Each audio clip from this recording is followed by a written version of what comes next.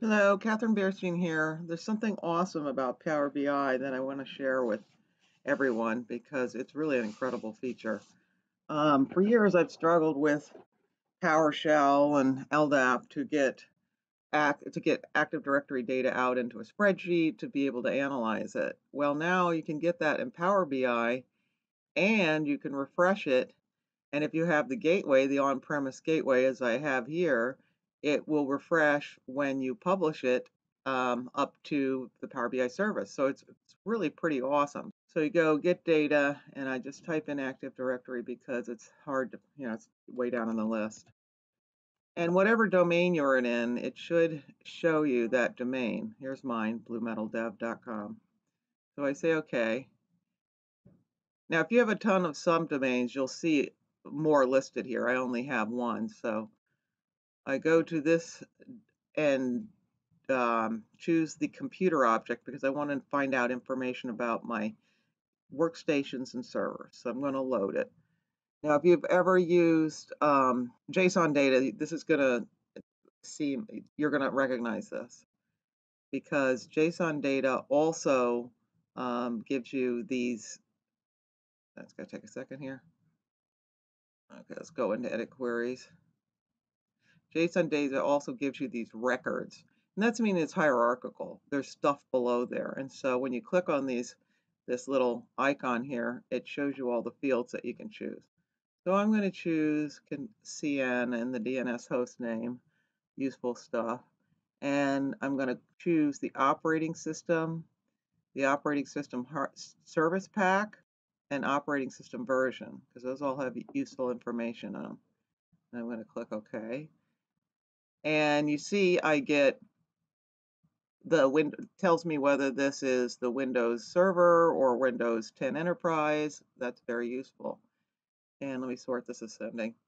And then it tells me if I have a service pack and it tells me the version number, which is also incredibly useful. So here's my Windows 10 Enterprises down here. Okay. And then in user, which doesn't seem like it would make sense because this is a computer, but this is where this data is. Um, you've got last logon timestamp, a very important field, which I'll talk about in a second. And you have down here, user account control, also a very important field. I'm going to take those. And notice when this comes in, this is a date, but it, you know, gives you this decimal number, which you don't want. So you just change that to the date format. And anybody who's struggled with that in PowerShell, um, transferring that into a date time before knows that that's really nice that that works that way. Now you go into top, which um, it seems to have some of the same information, but it has information that is description. Where is that? Yeah, right here. Is also useful. And down here we have when changed and when created. Nice. Okay.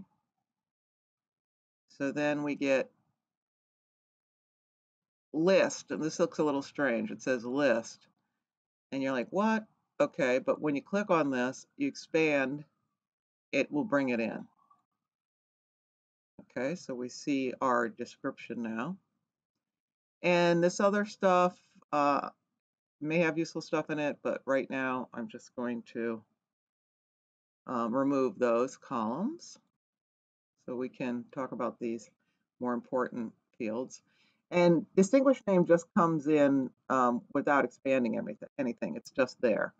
So notice that it will tell you top dot when created, top dot, so it tells you where you, it came from. And here is two I don't want right now. Okay. And display name, it's not really useful, so, and for computers, so I'm going to get rid of that. And if you forget a field, notice over here in the M language, these applied steps, you could, where you said expanded user, you could just go in there and if you forgot something, it brings it up and you could select it. So, you know, you don't have to do it over again and it'll bring it in if you forgot something that you want here. Okay. All.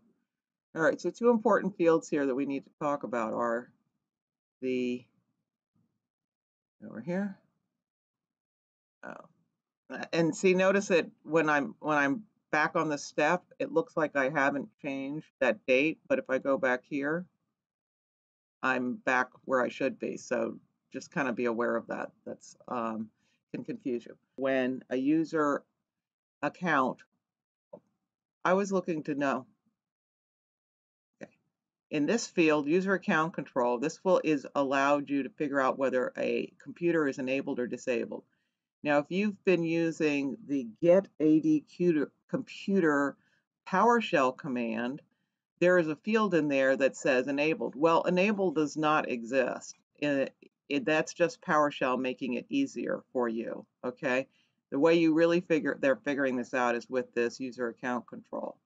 So let me show you what this really means. Now notice that the values I have here are 4096, 532480, and there's a 4098 in here somewhere because, yes, 4098. Okay, so three different versions. Okay, now in Excel, I made the spreadsheet to make this clear. Here's 4096, 4098, and here is um, 532480. Now, what do these mean? Well, you have to look at this user account, and I'll put this URL for these pages I'm showing in the um, YouTube notes. How to use the user account control flags to manipulate user properties. Okay, so it's bitwise, so you have to figure out, it gives you the decimal value, so you have to add up the bitwise values to figure out what it means. Now, notice that 4096, there's only one value there, and that's workstation trust account. Well, what does that mean? basically it's a workstation, an enabled workstation or server. This is a computer account or a computer that is running blah, blah, blah, Windows, and it's a member of this domain, okay? Now, what does it mean when it's 4098? Well, it's 4096 plus 2, and 2 means account disable. Oh, great. Okay, so that's how we figure out if a workstation or server is disabled. However, it might be disabled and it, you know, have additional other characteristics. Like for instance, my domain controller is 532480. 532480. And that is, as you can see, NS1, it's named server 1. That is a domain controller. Okay, so how do I know it's a domain controller? Well, I go back to 532480 and I figure out what is the largest number that goes in there.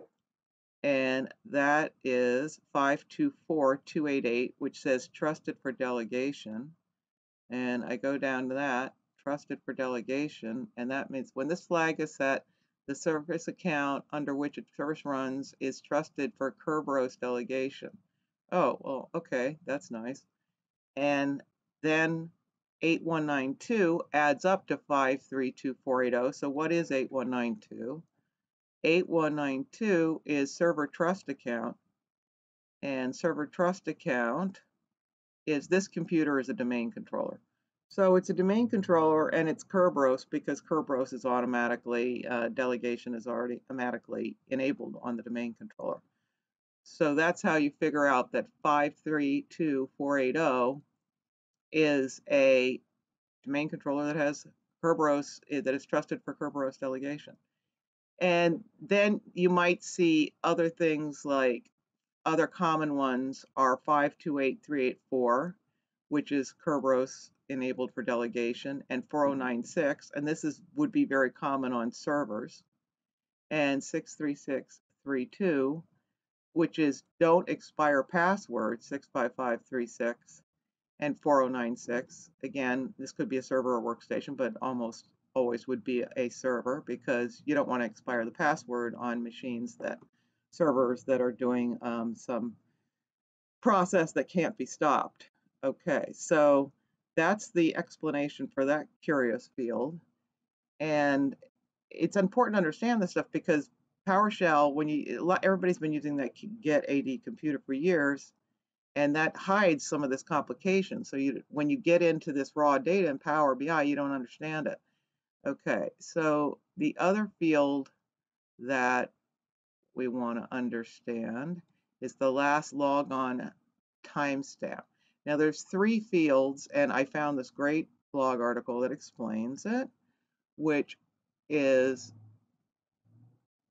understanding the AD attributes last logon, last logon timestamp, and last logon date. Well, come to find out, last logon date really does not exist. Last logon date is just last logon timestamp trans, um, transposed into a date time format by get AD computer. So just forget about last logon date. I mean, you can use it in Get AD Computer because last log on timestamp, you have to do the conversion yourself in PowerShell. So you just use last log on time date, last log on date. But it doesn't, you know, it really is just a converted last log on timestamp. And lo and behold, as you can see, Power BI does the conversion for you. All you have to do is choose the data type, date, time. So, you know, it, it does that conversion actually that PowerShell does, okay? and last logon is available, but the problem with last logon is it's just the last logon to that domain controller and it's not replicated.